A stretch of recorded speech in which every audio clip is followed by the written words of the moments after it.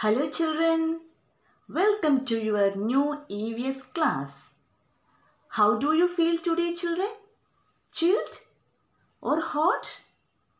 Yes, it's very hot today. What do you like the most? The cool breeze or the hot sunlight? I know you all love to feel the cool breeze, aren't you?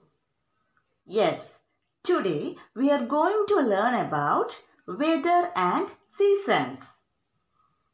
Children, do you know what is weather?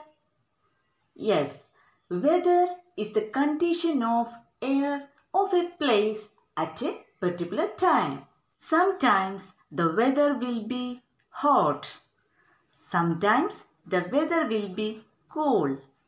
We feel cool in the early morning. So we say the morning weather is cold. It will be very hot at noon. Isn't it? Then we say the weather is hot. There are many reasons for the changes in weather.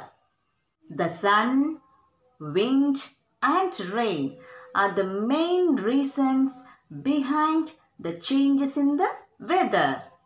When we have the same weather for a long time, it is said to be a season.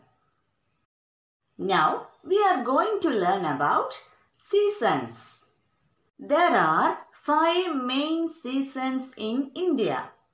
They are the summer season, rainy season, winter season, spring season and autumn season.